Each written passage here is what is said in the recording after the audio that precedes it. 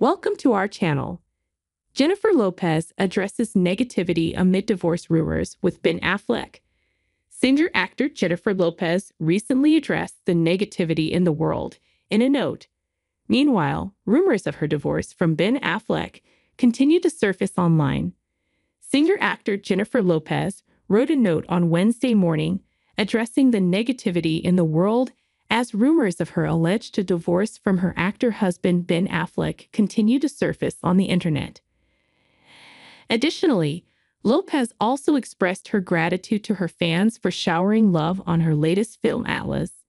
Jennifer shared the heartfelt note on her website. On the J-Lo, which read, I just found out some great news, and it's all because of YOU. Atlas is worldwide again this week. Thank you all so much. It may seem like there's a lot of negativity out in the world right now, but don't let the voices of a few drown out that there is so much love out there sick. Earlier, J-Lo had canceled her summer tour. On Friday, May 31, she shared a statement in which she said she was heartsick about taking the decision. In her newsletter on the J-Lo, the singer sent a letter to her fans which read, I am completely heartsick and devastated about letting you down. Please know that I wouldn't do this if I didn't feel that it was absolutely necessary. Promise I will make it up to you, and we will all be together again. I love you all so much. Until next time, she added.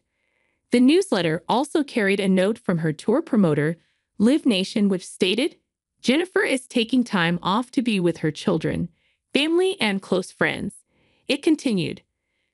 The news of cancellation came after multiple adjustments were made to the tour.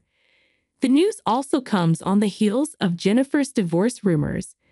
Various U.S. reports claim that the couple's marriage is on the rocks and they are living separately for now in Los Angeles.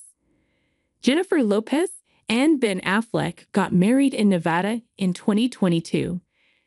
They later threw a star studded bash for their friends a couple of months later.